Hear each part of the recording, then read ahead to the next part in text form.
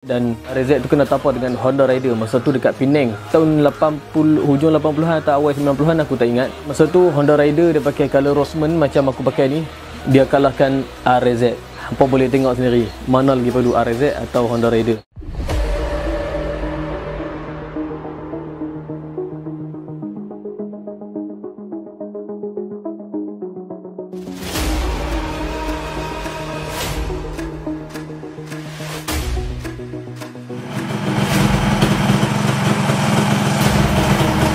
Okay, Assalamualaikum. Guys, welcome back to my channel. Just Adding kepada bersama dekat channel aku. Nama aku Just pada dalam dekat channel aku Thank you so much guys. Okay, hari ni Hampa boleh tengok dekat belakang aku adalah Sebuah jentera Honda Rider 6 Speed Super Sprint. Okay, aku akan cerita pasal Honda Rider belakang aku ni Iaitu Honda Rider aku sendiri. So, apa kata stay tune Dan jangan lupa subscribe, like, comment and share. Let's go, check it out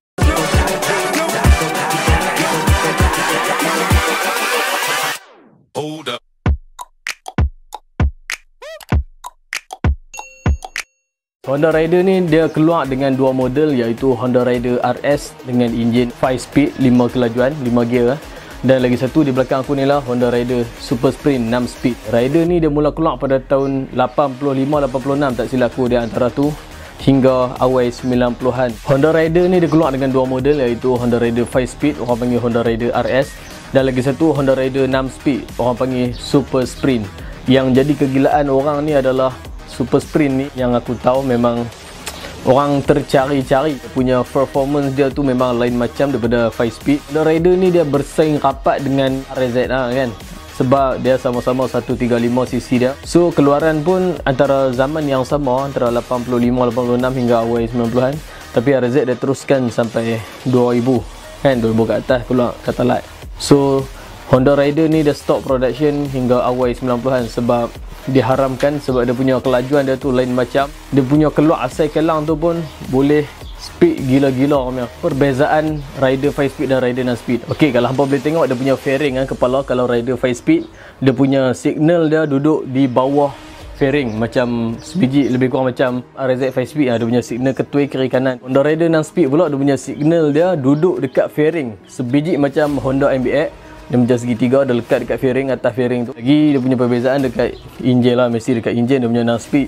Beza tak ada banyak sangat dengan Honda Raider 5 speed. Kalau daripada segi luaran tu nampak paling ketara adalah fairing dia. Part yang paling payah cari antara Honda Raider ni adalah dia punya fairing dan dia punya sport rim. Sport rim paling payah cari dan harga lah ni memang melambung-lambung. Itu aku tengok dalam 2500 2400 antara tu ada punya harga. Kalau macam scrap daripada Thailand pun memang harga pun agak mahal. Dan dia punya footrest tak ada footrest macam rider 6 speed dia ada special punya boleh cabut. Rider 5 speed dia punya footrest dia memang melekat dekat body tu eh.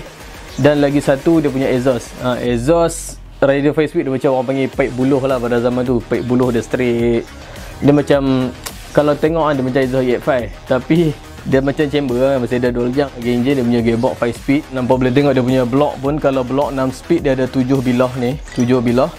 Dia punya susunan tu garis tu dan kalau 5 speed tak silap aku dah 5 kot. Ha. dan satu lagi dia punya head. Bentuk head pun berbeza. Head 6 speed dia ada lekuk sikit. Head 5 speed dia straight naik atas dia punya bahagian sisi tepi tu.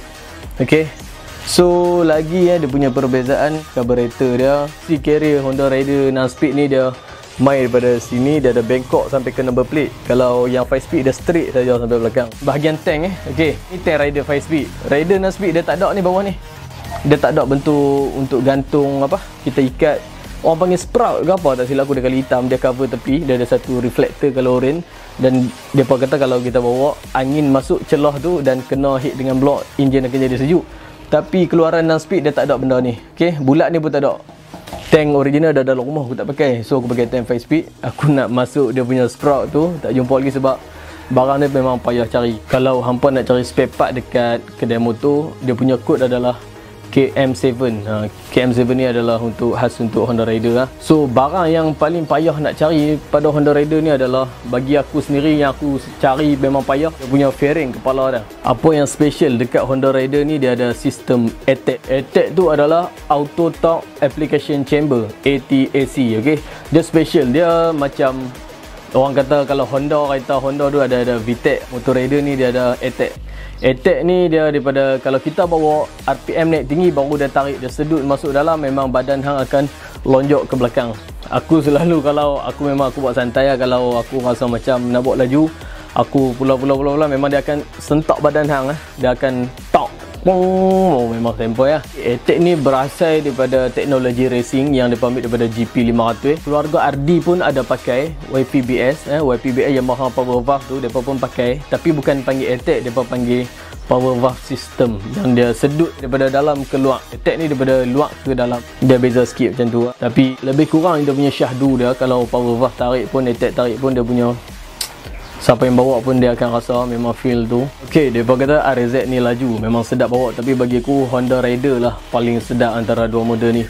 Sebab kalau kita tengok kalau pick up memang dapat dekat RZ kalau haluan pick up tapi kalau orang setengah orang kata kalau pick up ni Rider 5 speed lagi laju daripada pick up Rider Super Sprint.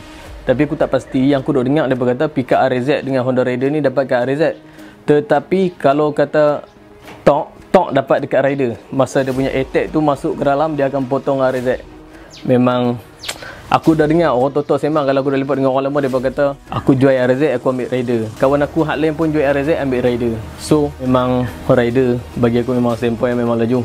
Kalau kita tengok lah ni Honda Rider dekat atas jalan memang susah nak jumpa sebab dia diharamkan lepas keluar model Super Sprint ni dia terlalu laju. So production pun tak keluarkan ni sebab diharamkan oleh kerajaan tapi RZ masih sambung dia punya legacy dia sampai 2010 kot tak silap aku 29 RZ Catalyzer.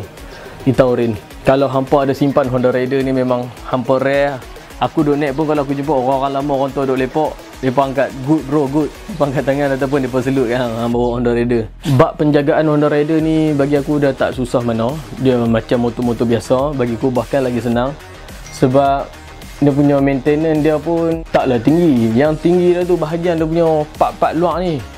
Aduh kalau kata hang nak dapat enjin seketui pun dia taklah mahal sangat kan? Hang nak beli gearbox pun taklah mahal sangat.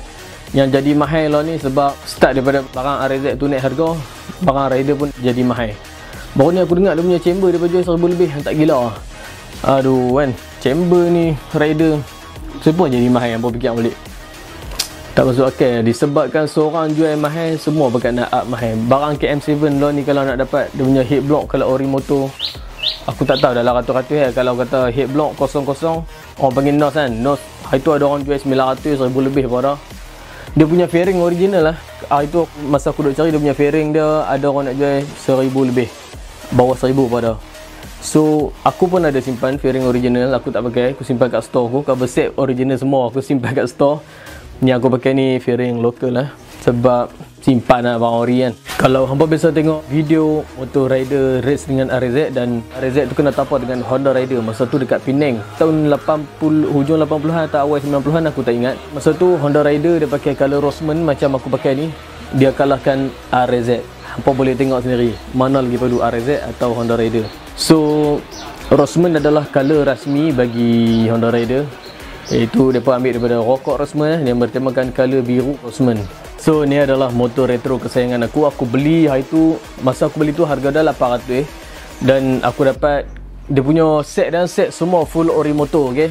Dan aku buat sendiri aku restore pelan-pelan aku habis dalam anggaran 1000 lebih kot sampai dia jadi macam ni. Aku dapat tu masa tu aku duduk sekolah aku dekat tempat. Ingat aku aku dekat tempat masa aku dapat Honda Raider ni. Aku beli dalam harga 800 eh. Aku towing daripada tempat aku ambil tu tak jauh dalam 15 km dengan tayar belakang pecah ha. Hang boleh tahu ha. kalau hang towing tayar belakang pecah dia punya mengesok tu macam mana. So dapat-dapat tu aku naik dengan color asal tu dulu lepas beberapa bulan tu masa duduk sekolah tu aku buat motor ni sampai lah siap sampai lah ni. Memang aku akan bawa pergi konvoi Aku selalu bawa pi Mori kan kalau retro mania semua aku akan turun retro mania. Event-event motor lama aku duk turun. So aku memang sayang gila-gila dekat aku punya rider ni. Ni kira bukan tak teringin RZ tapi dah aku dapat rider ni aku rasa macam nak nak RZ tu dia punya tak ada feel lah. Tapi insya-Allah satu hari nanti ada aku kan. RZ dah aku lebih minat pada rider kalau hampa biasa bawa pun hampa akan tahu dia punya feel macam mana. Okey, Honda Rider ni dia keluar dengan keluaran kalau Super Spring eh, dia keluar dengan rim lidi. kalau 5 speed dia keluar dengan sport rim 3 batang kalau hampa perasan orang dulu-dulu dia akan tukar rim depan pakai rim 16 belakang 18 sebab Honda Rider ni fork dia kalau standard dia tinggi. Kalau hang bawa laju memang dia akan melayah. Aku biasa test Honda Rider aku ni standard dia punya ketinggian dia depan 18 belakang 18 dia fork aku buat bagi standard. Aku pernah lari atas highway 15 dan dia rasa macam ombak macam hang duduk atas boat kan macam dek kuda pun dah gede-gede.